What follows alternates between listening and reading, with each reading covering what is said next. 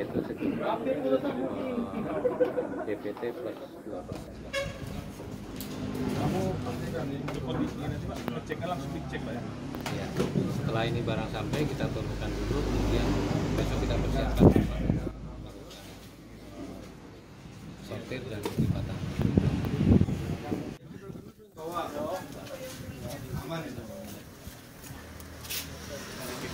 Uh,